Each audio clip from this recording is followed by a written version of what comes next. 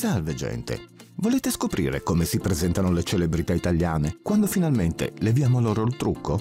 Se la risposta è sì, beh, non vi trattengo oltre, se non per ricordarvi che potete sostenerci con un mi piace, iscrivendovi al canale e cliccando sulla campanella per essere aggiornati sui nuovi video.